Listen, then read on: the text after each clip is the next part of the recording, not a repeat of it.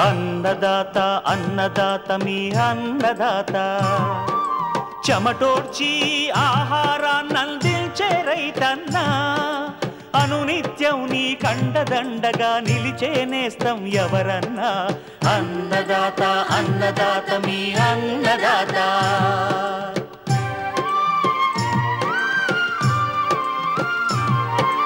నూతన రీతుల సాగుబడికి నూరింతలు పెరిగే దిగుబడికి సూచనలిచ్చే సస్య రక్షణకు పశు పోషణకి శాస్త్ర విజ్ఞానం అందించి ముందుకు నడిపే తెలుగు రైతు భారతదేశానికి మకుటం అయ్యేలా తీర్చిదిద్దే ఆశయంతో మిమ్ము మేలు కొలిపేది అన్నదాత.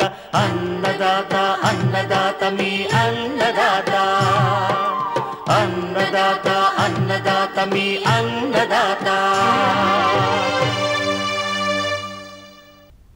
నమస్కారం. కర్షకులకపు కాంతిపుంజం అన్నదాతకు స్వాగతం. ఈనాటి ముఖ్యాంశాలు. ప్రస్తుతం నిమ్మ తోటల్లో చేపట్టాల్సిన యాజమాన్య సస్యరక్షణ చర్యలు. ప్రత్తిలో గులాబీ రంగు పురుగు సమగ్ర నివారణ. రైతు స్థాయిలో వరి విత్తనోత్పత్తి మెళకువలు.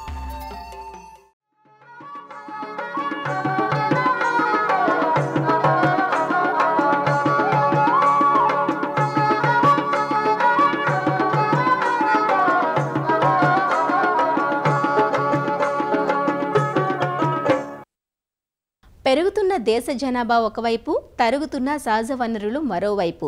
ఇలాంటి పరిస్థితుల్లో ఆహార భద్రతను కల్పించాలంటే ప్రస్తుతం ఉన్న సగటు ఉత్పాదకతను అధికం చేయాల్సిన అవసరం ఎంతైనా ఉంది. మన ప్రధాన ఆహార పంటైన వరిలో అధిక దిగుబడినిచ్చే వంగడాలు అందుబాటులో ఉన్నప్పటికీ ఉత్పత్తిని ఉత్పాదకతను పెంచడంలో విత్తన నాణ్యతది ప్రధాన పాత్ర. అంటే మనం ఎంచుకునే విత్తనానికి జన్యు స్వచ్ఛత భౌతిక శుద్ధత తేమ శాతం మొలక శాతం వంటివన్నీ ఖచ్చితమైన ప్రమాణాలతో ఉండాలి. విత్తన సమస్యలను నకిలీ నాసిరకం విత్తనాల బెడదను అధిగమించాలంటే రైతు స్థాయిలోనే విత్తనోత్పత్తి చేసుకుని అవసరాలకు వినియోగించుకోవాలి. వరి పైరులో విత్తనోత్పత్తి చాలా సులువు. ప్రత్యేకంగా ఒక మడిని విత్తనోత్పత్తి కోసం కేటాయించడం వల్ల మనమే సొంతంగా నాణ్యమైన విత్తనాన్ని ఉత్పత్తి చేసుకునే అవకాశం ఉంటుంది. వరి విత్తనోత్పత్తి చేసే రైతులు పాటించాల్సిన మెలకువలేవో తెలియజేస్తున్నారు. శ్రీకాకుళం జిల్లా ఆముదాల వలస కృషి విజ్ఞాన కేంద్రం program coordinator doctor D Chinnamanaidu. రైతు స్థాయిలోనే వారికి వారిగా విత్తనం తయారు చేసుకుంటే దానివల్ల చాలా లాభాలు ఉన్నాయి. మనకి విత్తనం కూడా నాణ్యమైన విత్తనం తయారు చేసుకోవడానికి కూడా మన అవకాశం ఉంటుంది. ఏ రకమైతే ఆ పొలానికి అనువుగా ఉంటుందో అదే రకాన్ని వాళ్ళు సొంతంగా తయారు చేసుకోవడం వల్ల నాణ్యమైన విత్తనం వాళ్ళకి దొరుకుతుంది. అలాగే ఖర్చు ఒక ముప్పై నుంచి నలభై శాతం తక్కువ ఖర్చులోనే మనకి విత్తనం దొరుకుతుంది. అదేవిధంగా సకాలంలో మనకు విత్తనం ఎప్పుడు మనకు విత్తనం మన చేతిలో ఉంటే మనకు వచ్చిన వాతావరణ పరిస్థితులు కానీ నీరు అందుబాటులో ఉండడం ఇవన్నీ చూసుకొని మనం సకాలంలో భూమిలో వేయగలిగితే పంట కూడా బాగా రావడానికి అవకాశం ఉంటుంది. మరి ఇందులో బ్రీడర్ విత్తనం అంటారు మూల విత్తనం అంటారు సర్టిఫైడ్ విత్తనం అంటారు ధృవీకరించిన విత్తనం. మరి రైస్ స్థాయిలో చేసుకోవడానికైతే బ్రీడర్ విత్తనం తయారు చేయడం కొంచెం ఇబ్బందికరంగా ఉంటుంది. అలా కాకుండా మూల విత్తనాన్ని కానీ లేదంటే సర్టిఫైడ్ ధృవీకరించిన విత్తనాన్ని రైతు స్థాయిలో వాళ్ళు తయారు చేసుకోవచ్చు. ఇలాగ విత్తనాలని మనం తయారు చేసుకోవాలనుకుంటే ముందుగా పరిశోధనా స్థానాల నుంచి కానీ వ్యవసాయ శాఖ నుంచి కానీ ఇతర కేవీకేల నుంచి కానీ వాళ్ళు మూల విత్తనాన్ని ఒకసారి తెచ్చుకుంటే వాళ్ళు ఒక రెండు నుంచి మూడు సంవత్సరాల వరకు కూడా అదే విత్తనాన్ని వాళ్ళు వాడుకోవచ్చు. నీటి సదుపాయం ఉన్న పొలాన్ని ఎంపిక చేసుకోవాలి. అలాగే సారవంతమైనటువంటి పొలాన్ని ముంపుకు గురి కాకుండా ఉండేటువంటి పొలాన్ని విత్తనోత్పత్తికి ఎంపిక చేసుకోవాల్సిన అవసరం ఉంటుంది. పొలం తయారీ విషయంలో ఏంటంటే వీలైనంత వరకు వేసవిలోనే బాగా దుక్కులు చేసుకోవాలి. వీలుంటే రెండు మూడు సార్లు దుక్కులు చేసుకోవడం వల్ల ఏంటంటే ఆ భూమి కూడా బాగా గుల్లబారి బాగా తయారవుతుంది.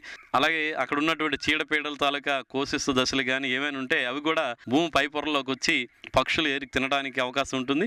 నారుమడి ఆరోగ్యంగా పెరగడానికి బాగా దుక్కులు చేసుకోవడం అలాగే పశువుల గత్తం కానీ లేదంటే వర్మీ కంపోస్ట్ కానీ ఏదైనా సేంద్రియ ఎరువుల్ని వీలైనంత ఎక్కువగా నారుమడికి వేసుకోవడం అలాగే నారుమడి వేసేటువంటి పొలాన్ని ఒకసారి దున్నిన తర్వాత వదిలిపెడితే మళ్ళీ వర్షం పడినా కానీ పదనిస్తే అక్కడ ఉన్నటువంటి ఏవైనా కలుపు మొక్కలు ఏవైనా ఉంటే కలుపు విత్తనాలు ఉంటే అవన్నీ మొలకెత్తిస్తాయి. తర్వాత మళ్ళీ దున్నుకుంటే కనుక కలుపు కూడా చాలా వరకు నారుమడిలో తగ్గడానికి అవకాశం ఉంటుంది. సెంటు నారుమడికి ఐదు కిలోల విత్తనం ఉండేటట్టు కనుక విత్తనాలు చల్లుకుంటే మనకి నారు కూడా ఆరోగ్యంగా పెరగడానికి అవకాశం ఉంటుంది. అలాగే చీడపీడల యాజమాన్యాన్ని కూడా విత్తనోత్పత్తి కోసం వేసే పొలంలో విత్తనాన్ని ముందుగానే విత్తన శుద్ధి చేసి నారుమడిలో విత్తుకుంటే బాగుంటుంది. దీనికోసం కార్బన్డిజం అయితే ఒక లీటర్ నీటికి ఒక గ్రామ్ చొప్పున కలిపి ఒక పన్నెండు నుంచి ఇరవై నాలుగు గంటలు నానబెట్టి మళ్ళీ కనుక మనం విత్తుకుంటే మనకి శిలీంద్ర తెగులు చాలా వరకు తగ్గిపోతాయి కాబట్టి విత్తన శుద్ధి తప్పనిసరిగా రైతు సోదరులు చేయాల్సిన అవసరం ఉంది. అలాగే నారుమడిలో కూడా ఆరోగ్యంగా పెరగడానికి పైపాటుగా కొంచెం ఎరువులు కూడాను డిఏపి అయితే ఒకటిన్నర కిలోలు యూరియా ఒక రెండు కిలోలు ఎంఓపి అయితే కనుక రెండు నుంచి మూడు కిలోలు. ఈ విధంగా పంట ఆరోగ్యాన్ని చూసుకొని ఎరువులు కూడా వాడుకుంటే ఆరోగ్యంగా పెరుగుతుంది. అలాగే చీడపీడల యాజమాన్యంలో భాగంగా నారుమడిలోనే మనం నారు పీకడానికి పది రోజుల ముందుగా ఈ కార్బోఫిరాన్ త్రీ జీ గుళికలు. సెంటు నారుమడికి నూట అరవై గ్రాములు చెప్పున. నీరు పల్చగా ఉంచి చుట్టూ గట్లు నీరు పోకుండా చేసి ఈ గుళికలు వేసుకుంటే నారుమడిలోనే కాండం తులసి పురుగు కానీ ఆకుముడత పురుగు సంబంధించి కానీ ఇలాంటివి ఏవైనా పురుగు ఉంటే కనుక అవన్నీ కూడా మన నారుమడిలోనే నిర్మూలించుకోవడానికి అవకాశం ఉంటుంది. విత్తనోత్పత్తి కోసం తయారు చేసిన ప్రధాన పొలానికి వీలైనంత వరకు పశువుల గత్తం ఒక నాలుగు నుంచి ఐదు టన్నుల వరకు ఒక ఎకరానికి వేసుకుంటే భూమిలో సేంద్రీయ కర్బనం పెరగడం వల్ల అక్కడ ఆరోగ్యంగా పంట పెరగడానికి అవకాశం ఉంటుంది. విత్తనోత్పత్తి కోసం కేటాయించినటువంటి పొలంలో నాట్లు మరీ దగ్గరగా వేయటం మంచిది కాదు. దూరం దూరంగా అంటే చదరపు మీటర్కు ముప్పై నుంచి ముప్పై మూడు మూనలు ఉండేటట్టుగా మనం నాట్లు వేసుకుంటే కనుక సరిపోతుంది. అలాగే ఎరువుల యాజమాన్య విషయంలో కూడా ప్రత్యేకించి నత్రజని ఎరువుని అంత మితిమీరి వాడకుండా వేసుకుంటే కనుక మనకి ఒక రకంగా చీడపీడల తాలూకా ఉధృతి కూడా చాలా తక్కువగా ఉంటుంది కాబట్టి నత్రజని ఎరువుని కొంచెం తగ్గించే వాడుకోవాలి. పొటాష్ ఎరువు ముప్పై ఐదు కిలోలు వేయమంటున్నాం. అది చివరి దమ్ములో పదిహేను కిలోలు చిరుపొట్ట దశలో ఇరవై కిలోల వరకు ఈ వేసుకోవాల్సిన అవసరం ఉంటుంది. మనం విత్తనోత్పత్తి కోసం ఉంచేటువంటి పొలంలో సూక్ష్మ పోషక లోపాలంటే జింక్ ఎక్కువగా కనిపిస్తూ ఉంటుంది. జింక్ లోపం కనుక ఉంటే ముందుగానే దమ్ములో జింక్ సల్ఫేట్ ఆ ఇరవై కిలోలు చివరి దమ్ములో వేసుకోవచ్చు. లేదంటే పంట మీద కనుక ఈ జింక్ లోపం కనిపిస్తే మనకు రెండు గ్రాములు జింకు ఒక లీటర్ నీటికి కలిపి పిచికారీ చేసుకుంటే మనకి జింకు లోపం కూడా సవరించబడి వేసినటువంటి ప్రధాన పోషకాలన్నీ కూడా మొక్క తీసుకోవడానికి అవకాశం ఉండి మొక్క ఆరోగ్యంగా పెరుగుతుంది కాబట్టి పంట కాలంలో ఆ విధమైన జాగ్రత్తలు తీసుకోవాలి. అలాగే చీడపీడలు కూడా ఆశించేటప్పుడు ముందు జాగ్రత్తగా మనం తప్పనిసరిగా కాలిబాటలు అనేవి తప్పనిసరిగా ఉంచుకోవాలి. అలాగే నీటి యాజమాన్యంలో కూడా రైతు సోదరులు జాగ్రత్త తీసుకోవాలి. ఎక్కువ నీటిని పెట్టేయకూడదు. పిలక దశలో మనకి ఒకటి నుంచి రెండు అంగుళాల నీరుని ఉంచడం లేదంటే ఆరు తడిగా నీటిని కనుక పెట్టుకుంటే మనకి బాగా పిలకలు పెట్టి తక్కువ విస్తీర్ణంలోనే ఎక్కువ దిగుబడి రావడానికి కూడా అవకాశం ఉంటుంది. పూత వచ్చిన దగ్గర నుంచి గింజ నిండి కోతకి పది రోజుల ముందు వరకు కూడా పొలం ఎప్పుడు ఎట్టి పరిస్థితుల్లోనూ బెట్టకు గురి కాకుండా మనం నీటి యాజమాన్యం చేపట్టగలిగితే గింజ కూడా బాగా నిండడం గింజ తాలకు బరువు బాగుంటుంది. అలాగే చీడపీడలు మనకి ఎక్కువగా కాండం తొలిచి పురుగు కానీ ఆకుముడత కానీ ఇలాంటివి వచ్చేటప్పుడు తొలి దశల్లోనే గమనించి వాటికి సంబంధించిన మందులన్నింటినీ కూడా మనం పిచికారీ చేసుకుంటాం మనకు సకాలంలోనే ఈ చీడపీడలు నివారించబడి పంట ఆరోగ్యంగా పెరిగి గింజ కూడా బాగా నిండడానికి అవకాశం ఉంటుంది కాబట్టి ఆ విధమైన జాగ్రత్తలు తీసుకోవాలి. మనం ఈ విత్తనోత్పత్తి కోసం చూసుకున్న పొలంలో తప్పనిసరిగా వేరే రకాల విత్తనాలు కలవకుండా కేలీలు ఏరటం అనేది చాలా ముఖ్యమైన అంశం. అలాగే కోత విషయానికి వచ్చేటప్పుడు గట్టు నుంచి ఒక రెండు నుంచి నాలుగు మీటర్లు చేను వదిలేయాలి. ఎందుకంటే ఫలదీకరణం జరిగేటప్పుడు వేరే రకం విత్తనాలు కూడా కలిసి కలవడానికి అవకాశం ఉంటుంది కాబట్టి కోసేటప్పుడు లోపల ఉన్నటువంటి చేను మాత్రమే విడిగా కోసుకొని వాటిని బాగా ఆరే వరకు పొలంలోనే ఆరబెట్టుకోవడం లేదంటే కల్లానికి తెచ్చి కళ్ళంలోనే ఒక మూడు నుంచి నాలుగు రోజులు ఆరబెట్టి తర్వాత నూర్పిడి చేసుకోవాలి. కోత కోసిన తర్వాత వాటిలో ఉన్నటువంటి తేమ శాతం బాగా తగ్గే వరకు అంటే పదమూడు నుంచి పద్నాలుగు శాతం తేమ వచ్చే వరకు మనం అది బాగా ఆరబెట్టుకోవాలి అలాగే వాటిని గోని సంచుల్లో నింపేటప్పుడు కూడా మన కొత్త గోని సంచులు వాడుకోవడం మంచిది. ఒకవేళ గత సంవత్సరం గోని సంచులు వాడితే కనుక వాటిని బాగా దులిపి ఎండలో ఆరబెట్టి అందులో వేరే రకాల విత్తన గింజలు ఏమీ లేకుండా చూసుకొని అలాంటి సంచులను ఎంపిక చేసుకోవాలి. విత్తనాలను వేసే ముందుగానే ఈ పురుగులు ఇవన్నీ కూడా నిల్వలో ఆశిస్తాయి కాబట్టి అలాంటివి ఏం రాకుండా మలాతియన్ ద్రావణాన్ని ఐదు మిల్లీ లీటర్లు ఒక లీటర్ నీటికి చెప్పిన కలిపి ఈ బస్తాల మీద పిచికారీ చేసుకుంటే చాలా వరకు ఈ సుంకు పురుగులు కానీ అలాగే నిల్వలో వచ్చే పురుగులు చాలా వరకు తగ్గుతాయి. అలాగే నిల్వ చేసేటప్పుడు భూమి నుంచి కొంచెం ఎత్తులో ఒక ఐదారు అంగుళాలు ఎత్తులోనే విత్తనం తాలూకా మూటలన్నింటినీ కూడా నిల్వ చేసుకోవాలి. అలాగే పంట వేసే ముందు కూడా మొలక శాతాన్ని మనం చూసుకోవాలి. అది ఎనభై ఐదు శాతం నుంచి తొంభై శాతం పైబడి గనక మొలకలు గనక బాగుంటే దాన్ని మనం విత్తనంగా వాడుకుంటే తద్వారా మనం దిగుబడి పెరగడానికి అవకాశం ఉంటుంది కాబట్టి రైతు సోదరులు తప్పనిసరిగా విత్తనోత్పత్తి చేయడానికి ప్రయత్నం చేయాలి.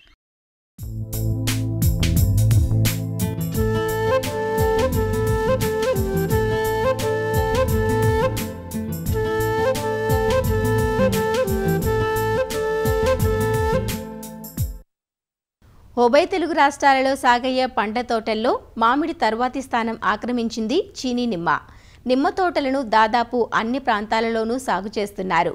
నెల్లూరు గుంటూరు ఉభయ గోదావరి జిల్లాల్లో నిమ్మ తోటల సాగు ఎక్కువగా ఉంది. ప్రస్తుతం పిందె దశలో ఉన్న ఈ తోటలకు పోషకాలు అందిస్తే మున్ముందు మంచి సైజునిచ్చి అధిక దిగుబడినిస్తాయి. ఈ వర్షాకాలంలో నిమ్మకు ప్రధాన సమస్య అయిన గజ్జి తెగులు బంకకారు తెగుళ్ళు కూడా తోటల్లో కనిపిస్తున్నాయి. సకాలంలో తగిన నివారణ చర్యలు చేపడితే చెట్టు ఆరోగ్యంగా ఉండి దీర్ఘకాలం పాటు దిగుబడినిస్తాయి. ప్రస్తుతం నిమ్మ తోటల్లో చేపట్టాల్సిన యాజమాన్య సస్యరక్షణ చర్యల గురించి గుంటూరు జిల్లా తెనాలి డివిజన్ సహాయ వ్యవసాయ సంచాలకులు బత్తుల శ్రీకృష్ణదేవరాయలు ఇలా వివరిస్తున్నారు. ఉద్యాన పంటల్లో నిమ్మ అనేటువంటిది చాలా ప్రధానమైనటువంటి పంట. అధిక సాంద్రతలో మరి నిమ్మ మొక్కలు అనేటువంటివి సాగు చేయడం జరుగుతూ ఉంది ఎనభై నుంచి వంద మొక్కల దాకా మనం నాటుకుంటే ఆప్టిమం ప్లాంట్ పాపులేషను. అయితే ఇక్కడ నూట ఇరవై నుంచి రెండు వందల మొక్కల దాకా నాటుతున్నటువంటి పరిస్థితి. ముఖ్యంగా ఏంటంటే ఏ పంటకైనా కూడా గాలి అనేటువంటిది ఆడాలి. ఎక్స్ట్రా కొమ్మలు ఏదైతే ఉన్నాయో ఆ కొమ్మలన్నీ కూడా తీసుకొని గాలి ఆడేటట్టుగా చేసుకోవాల్సినటువంటి పరిస్థితి ఉంది. ప్రతి తొలకరలో కూడా వర్షాలు పడంగానే ఒక మీటర్ దూరంలో పళ్ళెం తవ్వేసి ఆ పళ్ళెంలో వేప పిండి అదేవిధంగా గానుగ పిండి ఆముదం పిండి పశువుల ఎరువుతో పాటు ప్రతి మొక్కకు కూడా వయసును బట్టి.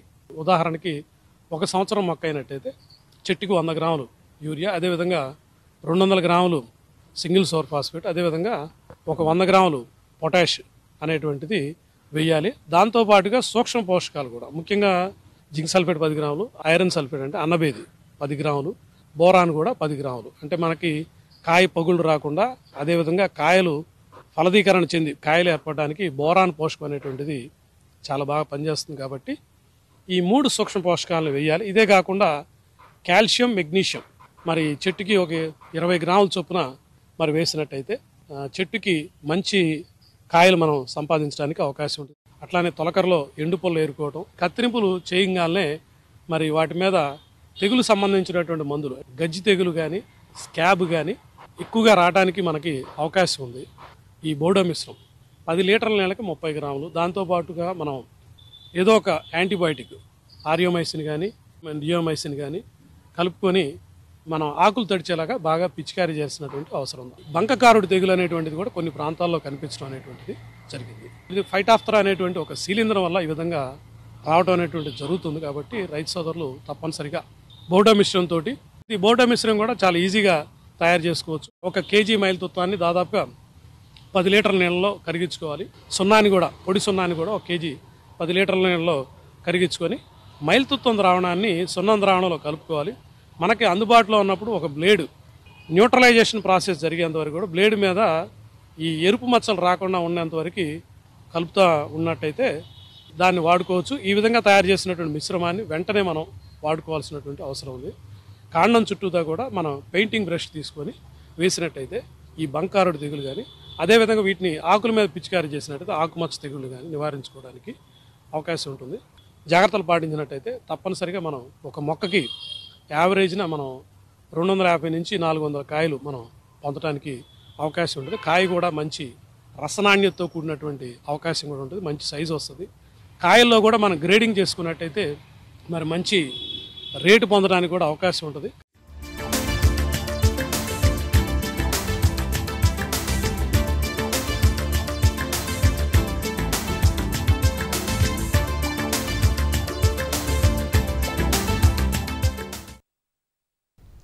తెల్ల బంగారంగా పేరు పొందిన ప్రతి పైరు గత కొన్నేళ్ళుగా రైతుల మోము తెల్లబోయేలా చేస్తోంది. ఇందుకు కారణం గతంలో ఎన్నడూ లేనంతగా విజృంభిస్తున్న గులాబీ రంగు పురుగు. ఇరు రాష్ట్రాల్లో ప్రతి పైరు ప్రస్తుతం పలు దశల్లో ఉంది. ముందుగా వేసిన ప్రాంతాలలో గూడ పూత దశలో ఉండగా చాలా ప్రాంతాలలో యాభై డెబ్బై రోజుల వయసులో ఉంది. గూడ పూత దశలో ఉన్న పొలాల్లో అక్కడక్కడ గులాబీ రంగు పురుగు కనపడుతున్నట్టుగా సమాచారం. గులాబీ రంగు పురుగు జాడ కనిపించడంతో రైతులు పలు రకాల రసాయనాలను పిచికారీ చేస్తున్నారు. మందులకు ఈ పురుగు లొంగదు. పురుగు దశను పంట దశను అనుసరించి సమగ్ర సస్యరక్షణ చర్యలు పాటించడం అత్యుత్తమం. ప్రత్తిలో గులాబీ రంగు పురుగు సమగ్ర నివారణ గురించి తెలియజేస్తున్నారు. ఆచార్య ఎన్జీ రంగా వ్యవసాయ విశ్వవిద్యాలయం కర్నూలు జిల్లా బనవాసి కృషి విజ్ఞాన కేంద్రం శాస్త్రవేత్త డాక్టర్ ప్రసాద్ బాబు. పత్తి పంటలో మనకు ప్రధానమైన సమస్య ప్రధానమైన పురుగుల సమస్య ఏంటి అంటే మనకి రసం పీల్చే పురుగు పురుగులతో పాటు ఈ గులాబీ రంగు పురుగు అనేది ప్రధానమైన సమస్య. ఈ గులాబీ రంగు పురుగుపై అవగాహన కలిగి సరైన సమయంలో సరైన యాజమాన్య పద్ధతులు చేపట్టినట్లయితే దీన్ని సమర్థవంతంగా మనము నివారించుకోవచ్చు. సో ముఖ్యంగా మన గులాబీ రంగు పురుగుకు సంబంధించి మూడు అంశాలను దృష్టిలో ఉంచుకోవాలి. మొట్టమొదటిది గులాబీ రంగు పురుగును మనము ఐడెంటిఫై చేయడం ఎలా ఒకటి రెండవది ఈ గులాబీ రంగు పురుగు యొక్క ఆర్థిక నష్టపరిమితి స్థాయిని ఎలా గుర్తించుకోవాలి? అలాగే మూడవది నివారణ చర్యలు. ఈ గులాబీ రంగు పురుగు సమస్య యొక్క లక్షణాలు ఏ విధంగా ఉంటాయని చూసినట్లయితే మనకి ముఖ్యమైనది గుడ్డిపత్తి. ఈ గుడ్డి పూలు అనేది రావడం జరుగుతుంది. అంటే పంట వేసిన నలభై ఐదో రోజు నుండి ఈ గులాబీ రంగు పురుగు సమస్యను మొదలవుతుంది. ఈ పూత సమయంలో గులాబీ రంగు పురుగు ఆశించినట్లయితే ఆ పువ్వు విచ్చుకోకుండా అలాగే ఉండిపోతుంది. దీన్నే మనము గుడ్డి పూలు అంటాము. ఈ గుడ్డి పూలను మనం విచ్చి చూసినట్లయితే అందులో మన గులాబీ రంగు పురుగు అనేది కనిపిస్తుంది కాయ పై భాగంలో గుండ్ర రంధ్రాలు ఉన్నప్పుడు కానీ లేకపోతే ఈ కాయ తొనల మధ్య భాగంలో రంధ్రాలు గుండ్ర రంధ్రాలు ఉన్నట్లయితే అది గులాబీ రంగు పురుగుగా మనం గుర్తించాలి. అదేవిధంగా రంగు మారిన పత్తి కానీ లేకపోతే గుడ్డి పత్తి కానీ మనం గమనించినట్లయితే ఇది గులాబీ రంగు పురుగు ఆశించినటువంటి పత్తిగా మనం గమనించి నివారణ చర్యలు అనేది చేపట్టాలి.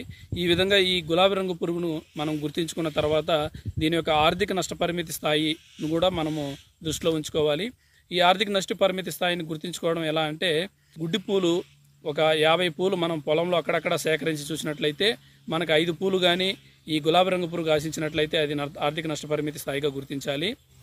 ఒక్కొక్క చెట్టుకు ఒక్కొక్క కాయను తెంచి అక్కడక్కడ ర్యాండమ్గా ఒక ఇరవై కాయలు తుంచి తుంచి కానీ తెంచి కానీ మనము చూసినట్లయితే ఇందులో ఇరవై కాయల్లో రెండు కాయలు గులాబీ రంగు పురుగు ఆశించినట్లయితే ఇది ఆర్థిక నష్టపరిమితి స్థాయిగా గుర్తించాలి.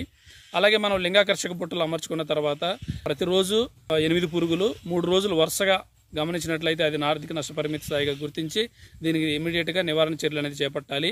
నివారణ చర్యలు చూపి చూసినట్లయితే ముందుగా స్వల్పకాలిక రకాలను ఎంపిక చేసుకోవాలి. అలాగే ఈ ప్రతి మూడు సంవత్సరాలకు ఒకసారి పంట మార్పిడి అనేది తప్పకుండా చేపట్టాలి.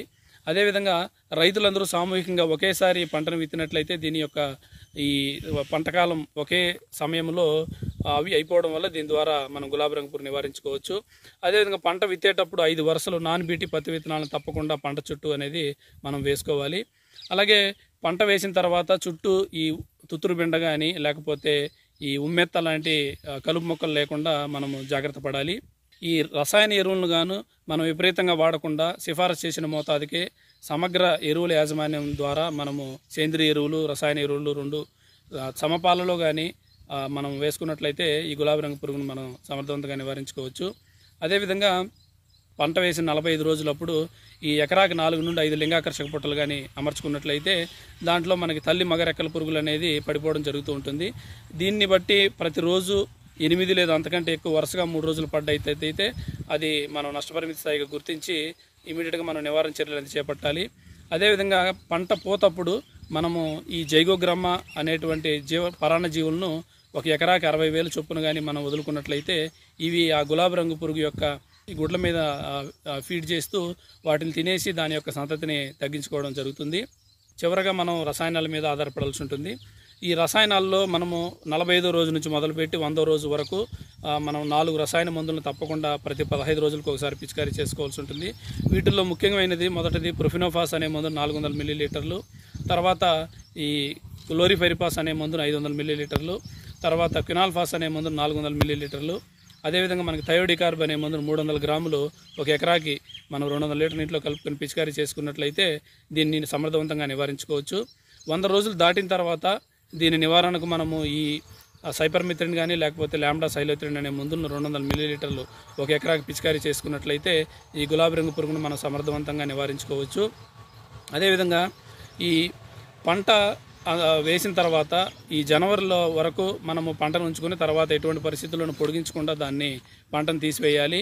అదేవిధంగా పంట పత్తి తీసిన తర్వాత ఈ పంట మూలలు ఏవైతే పొలంలో వదిలేసామో దీంట్లో మనము ఈ గొర్రెలను మేపడం కానీ గొర్రెలను మేకలను కానీ మేపినట్లయితే తద్వారా అక్కడ ఉన్నటువంటి ఈ లార్వాలు కానీ లేకపోతే ఈ విధంగా ఈ గుడ్డిపత్తి కానీ వీటిని మనం పొలంలో లేకుండా నివారించుకోవచ్చు. అదేవిధంగా రోటావీటర్తో మనము ఈ పత్తి తీసేసిన తర్వాత ఆ మూలను పొలంలో కలిగి దున్నుకున్నట్లయితే ఈ సేంద్రీయ కర్బనం పెరగడమే కాకుండా ఈ గులాబీ రంగును పురుగు కూడా నివారించుకోవచ్చు. అదేవిధంగా ఈ పంట మనకి పొలంలో లేనప్పుడు కూడా ఈ దీని యొక్క ఉధృతి పెరిగే అవకాశం ఉంది. అది ఎలాగో అంటే మనకి జిన్నింగ్ మిల్లల వద్ద కూడా దీన్ని ఉధృతి ఉండేటువంటి ప్రమాదం ఉంది కాబట్టి ఈ జిన్నింగ్ మిల్లల వద్ద ఈ పాడైపోయిన పత్తిని కానీ లేకపోతే ఈ గులాబీ రంగు పురుగు ఆశించినటువంటి పత్తిని కానీ గుడ్డి పూలను కానీ లేకపోతే గుడ్డి కాయలను కానీ ఇమీడియట్గా మనం సేకరించి తగులు పెట్టి వాటిని నాశనం చేసిన చేసి చేయడం ద్వారా దీన్ని నివారించుకోవచ్చు. ఈ జిన్నింగ్ మిల్లుల వద్ద ఈ లింగాకర్షక బుట్టలు అమర్చుకోవడం ద్వారా కూడా మనం ఈ తల్లి మొగరెక్కల పురుగుల్ని ఆకర్షించి దాని ద్వారా దాని యొక్క సంతతిని నివారించుకోవచ్చు. సో ఇటువంటి చర్యలన్నీ కూలంకషంగా మరియు సమగ్రంగా రైతులు చేపట్టినట్లయితే తప్పకుండా ఈ గులాబీ రంగు పురుగుని నివారించి మనము పత్తిలో అధిక దిగుబడులు అనేవి తీసుకునేదానికి అవకాశం ఉంటుంది.